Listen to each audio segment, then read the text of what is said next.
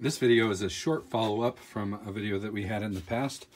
I basically was testing these these Li-Tec um, out of the Smart Fortwo and uh, basically what I did was I took um, these and, and set them up and I discharged them and I wrote down the discharge. So I started here at 3.93 and I took uh, 10 amp hours out and went down to 3.82 so on and so forth. Was able to take 5 10 15 20 25 30 35 40 40 amp hours out of this battery of this bat of each one of these batteries.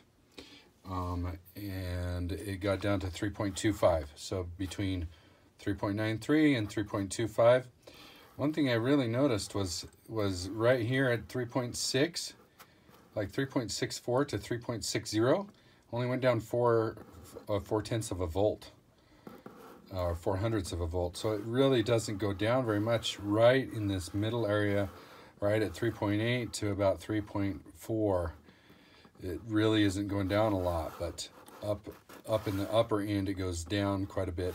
And then I charged them back up. I went from 3.25 to 5.2 then and, and then all the way up to 4.07 so anyway um, they're taking about uh, at four at four volts even or almost four volts even 3.93 down to 3.25 which is still just a tiny bit low but still um, uh, for 40 amp hours was the drain out of each one of these.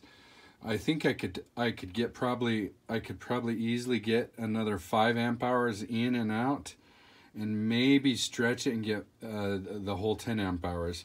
But see, these these batteries were uh, were at zero, like 0 0.00 volts.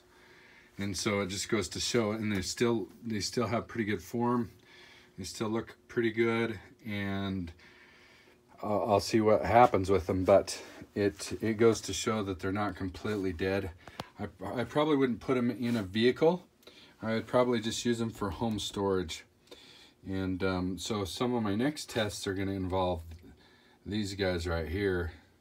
I have quite a few of them. Some of them are, as you can see, some of them are rusted a little bit. I've got a solution for that, but anyway, um, that's that's what our experiment came up with. I might I might do some more tests, but for the most part, pretty good capacity. They're they're rated for a 50 amp hour capacity, and easily we could get 45, which is 90%.